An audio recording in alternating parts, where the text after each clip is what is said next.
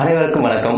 இன்னைக்கு நம்ம நிகழ்ச்சியில பிரபல வயலின் இசைக்கலைஞரும் பல விருதுகளுக்கு சொந்தக்காரருமான பத்மா சங்கர் அவங்கள மீட் பண்ண போறோம். அவங்கள ஜிலியன் வியூஸ்க்கு நான் இன்ட்ரடியூஸ் பண்றது ரொம்ப சந்தோஷப்படுறேன். அந்த அவங்க ஸ்டேட்டாக வெல்கம் பண்ணிடுவோம். வணக்கம் மேம் வணக்கம். எப்படி இருக்கீங்க?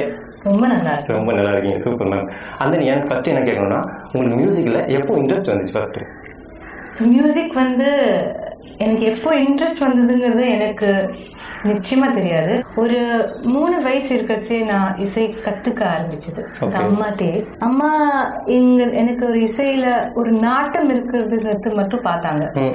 எப்படின்னா எந்த ஒரு பாட்டு அவங்க பாடினாலும் அந்த பாட்டுக்கு ஸ்வரம் சொல்லுவேன் ஸோ இந்த மாதிரி ஒரு பொண்ணுக்கு இசையில் ஒரு ஆர்வம் இருக்குங்கிறதுனால அவங்க முதல்ல சொல்லி கொடுக்க ஆரம்பிச்சாங்க. ஸோ எனக்கு இன்ட்ரெஸ்ட் அப்படின்னு வரைச்சி ஒரு eight years eight nine years அப்போ தான் எனக்கு நான் இசையில் ஒரு விரும்பி கற்றுக்க ஆரம்பிச்சது. Super super. ஸ்கூலிங்ல எங்க மேம் பண்ணீங்க?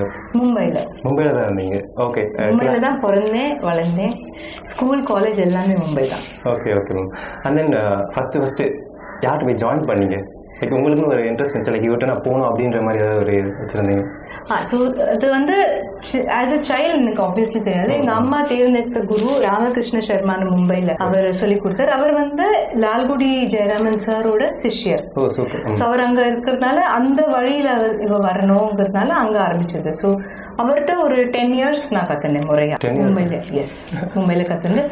அதுக்கப்புறம் நான் இங்க லால்குடி சார்ட்டே நேர நான் கத்துக்கணுங்கிற ஒரு அது என்ன சொல்றது? அம்பிஷன் டிசைர் எல்லாமே ஒரு ட்ரீம் பிகாஸ் அவர் மாதிரி வாசிக்கணும் அப்படின்னு ஒரு சின்ன வயசுல இருந்து என்னோட குரு சொல்லி கொடுக்கறச்சே லால்குடி சாரோட போட்டோ கூட தான் சொல்லி கொடுப்பாரு.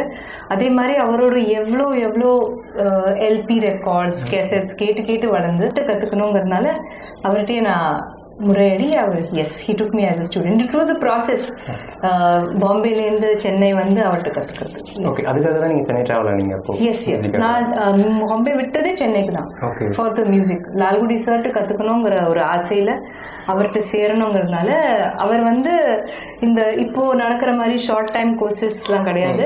நீ மெட்ராஸ்க்கு ஃபுல்லாக நீ ஷிஃப்ட் ஆனேன்னா அப்போ நான் உன்னை சிஷியரே ஆகிட்டு போயிடுவேன் அதில் தான் it is not possible it has to be a full time effort இது நான் கார்த்தால ஆஃபீஸ்க்கு போயிட்டு சாயந்தரம் வந்து ஒரு மணி நேரம் கிளாஸ் எடுக்கிறேன் அப்படிலாம் நீ என்கிட்ட கற்றுக்க முடியாது. நீ இப்படி ஆசைப்படுற ப்ரொஃபஷ்னலாக மியூசிக் கற்றுக்கணும் அப்படின்னா நீ full time you have to give your body mind thought to music அவர் எப்படி உங்கள்கிட்ட ரொம்ப சாஃப்டாக நடந்துப்பாரா எந்த குரு சாஃப்டாக இருந்திருக்காங்க? இஸ் அ எவ்ரிபடி சொல்ற மாதிரி டாஸ்க் மாஸ்டர் நான் அப்படி சொல்ல மாட்டேன் அவரை. எதை எடுத்தாலும் அது முழுமையா செய்யணுங்கிறது அவரோட ஆர்வம். அதே ஆர்வத்தை அவர் எல்லா ஸ்டூடெண்ட்டையும் எதிர்பார்த்தார். இப்போ ஒரு நம்மளுக்கு எக்ஸாம்பிள் ஒரு இன்டர்வியூ எடுக்கணும்னா இல்ல அவர் இன்டர்வியூ வெறும் ஒரு ரிப்ளை கொடுக்கணும்னா அவர் எல்லாமே ஓட்டி பார்த்துப்பார் மனசுல. இந்த மாதிரி கொஸ்டின் கேட்டோம்னா என்ன சொல்லணும்?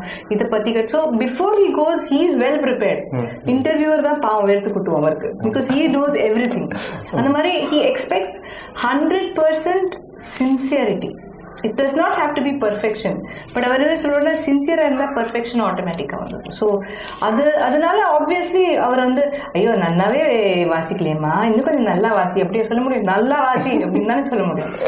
அது இன்னொரு விஷயம் எப்படின்னா as students most of the time நீங்கள் பார்த்தீங்கன்னா பாடி இங்கே இருக்கும். வந்திருப்பாங்க கிளாஸ்க்கு. மனசு வேற எங்கேயோ சுற்றிட்டு இருக்கும். ஸோ அந்த மனசை எப்படி கட்டுப்படுத்துதுன்னா ஒரு திட்டு தான் ம் அப்படின்னா அப்படி ஆயிடும் மனசு. இல்லாட்டா. அப்படியே தூங்கிட்டு அதனால தூங்குற மனசை இழுப்பறதுக்கு தான் அந்த திட்டு. பட் அது எல்லாமே எனக்கு ஒரு ஆசீர்வாதமா அமைஞ்சது. அதனால என்னை பொறுத்த வரைக்கும் he was a very loving guru and he was a very sincere guru super ma'am and then instruments எவ்வளவோ இருந்தாலுமே உங்களுக்கு வயலின் மேலே எதனால இன்ட்ரெஸ்ட் போச்சு? அதே தான் பதில் அதே தான் பிகாஸ் நானா எடுத்து வயலினை வாசிக்கல ஒரு ஒரு மூணு நாலு வயசு பொண்ணுக்கு சொல்லுங்க. என்ன தெரியும்? பேச்சு தெரியும் அவ்வளவுதான். சாப்பிட தெரியும் விளையாட தெரியும். அம்மா பாட்டு சொல்லி கொடுத்தாங்க. இது நான் சொன்ன ஃபர்ஸ்ட் பதில் தான்.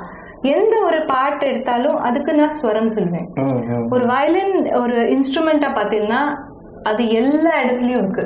ஒரு கச்சேரி மேடைன்னு பார்த்தீங்கன்னா ஒரு பாடகருக்கு வயலின் வாசிக்கிறாங்க வீணைக்கு வயலின் ஃப்ளூட்டுக்கும் வயலின் இருக்கு சாக்ஸோஃபோனுக்கும் வயலின் இருக்கு டான்ஸ்னு பார்த்தீங்கன்னா அங்க வயலின் இருக்கு ஃபிலிம் பார்த்தீங்கன்னா violin. So violin is always there in the role so வயலினிஸ்டோட first குவாலிட்டியே எதையும் மீண்டும் அந்த வயலின்ல வாசிக்க முடியும் ஒரு. ஸோ அதை டீ கோடிங் அப்படின்னு இங்கிலீஷ்ல சொல்லுவாங்க. ஓகே. ஸ்வரப்படுத்துறதுன்னு நான் தமிழ்ல சொல்றேன். ஸோ இப்போ கண்மணி அன்போடு காதலன் அப்படின்னு பாடினா கமதா பாப்பா மரேகமா. இது முதல்ல எனக்கு ஒரு சின்ன வயசுல இந்த ஒரு என்ன சொல்றது இருந்தது இந்த டேலண்ட் தெரியல. இட் வாஸ் ப்ராபப்ளி தேர் கேட்டு கேள்வி ஞானம் கூட சொல்லணும். பட் தெரியல. I'm not able to understand because நான் ரொம்ப சின்ன பொண்ணு. இது இருந்ததுனால அம்மா வந்து நீ வயலின் வாசிக்கலாம். இந்த வயலினுக்கு இந்த நல்ல திறமை அப்படின்னு. இன்னும் ஒரு ரீசன் என்னன்னா அம்மா ஒரு வீணை கலைஞர். ஸோ வீணை வந்து ஒரு ஹியூஜ் இன்ஸ்ட்ருமெண்ட் இப்போ ஒரு டுவெண்ட்டி இயர்ஸ் பேக் அதை வச்சு ட்ராவல் பண்ணுறதுன்னா இட்ஸ் வெரி டிஃபிகல்ட் திங் அதனால கையில் தூக்கின்னு போகிற ஈஸியாக இருக்கணும் அப்படின்னு வயலின் எடுத்தேன் வயலின் கற்றுக்கணும்னா அதுக்கு ரொம்ப முக்கியம் வந்து பாட்டு. ஸோ பாடுற மாதிரியே தான் வயலின் வாசிக்க முடியும். ஸோ அதுக்கு சாகித்யம் லிரிக்ஸ் ஆர் இம்பார்ட்டன்ட் ஸோ முதல்ல எந்த விஷயத்தையும் ஃபர்ஸ்ட் பாட்டில் வந்துட்டும் அப்புறம் தான் வயலின் எடுக்க முடியும். ஸோ பாட்டோட சேர்ந்து வயலின் வயலினோட சேர்ந்து பாட்டு. எது வேணா சொல்லலாம். சூப்பர் சூப்பர் மேம் அந்த இப்போ லால்குடி சார்ட்ட நம்ம கற்றுக்கிட்டோம் இல்லையா? ஸோ அதுக்கப்புறம் நம்ம இந்த குன்னக்குடி சார் இருக்கட்டும் இல்லை கன்னியாகுமரி சார் அவங்கள்ட்ட கற்றுக்கணும்னு ஒரு ஆசை இருந்துச்சு? அதுக்கு ஒரு பேஷன் தான் ஸோ இப்போ நீங்க கேட்குற கேள்விக்கு என்ன பதில் சொல்றது? இது ஒரு ரெஸ்டாரண்ட்ல பார்க்குற மெனு மாதிரி கிடையாது.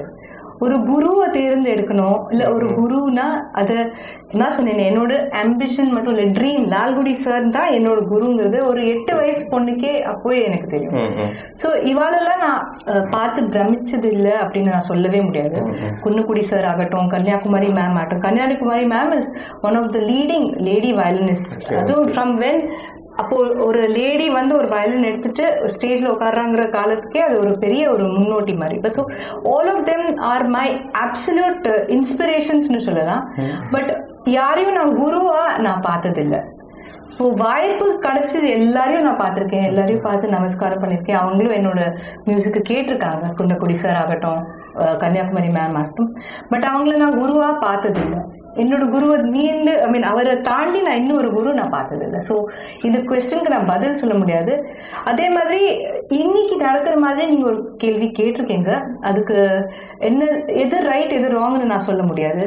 இவாள்கிட்ட கற்றுட்டு இவாளுக்கு அப்புறம் இவாள்கிட்ட இவாள்கிட்ட டிஃப்ரெண்ட் குருஸ்ட்டு கற்றுக்கிறதுங்கிறது ஒரு என்ன சொல்றது ஃபேஷன் ரெஸ்யூமே ஃபேஷன் ஆயிடுத்து அந்த மாதிரி I can't say it's right or wrong but எனக்கு அந்த மாதிரி ஒரு நாட்டம் இல்லை அந்த மாதிரி நாட்டம் இல்லை. சரி மேம் அந்த நீங்கள் ஃபஸ்ட்டு ஃபஸ்ட்டு சவாலை பாடின பீரியட் எப்போ ஏறினீங்க ஸ்டேஜ் அந்த ஸோ ஸ்டேஜ் ஏறி வென் I was ஏழு வயசு ஏழு வயசுக்கு தான் ஃபர்ஸ்ட் ஸ்டேஜ் ஏறினேன்.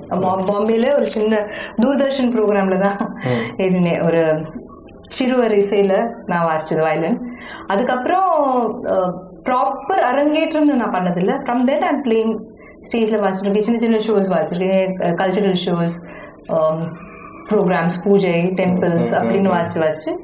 ப்ராப்பராக இஃப் யூ சி சென்னையில் வந்த அப்புறம்னா nineteen ninety four ninety okay ninety ஃபோரில் சென்னையில் Chennai after learning from Lalgudi sir அது ஃபர்ஸ்ட் கான்செப்ட்னா கிருஷ்ணகான சபால நடந்தது. சூப்பர் மேம் அந்த ராகம் ஞாபகம் இருக்கா?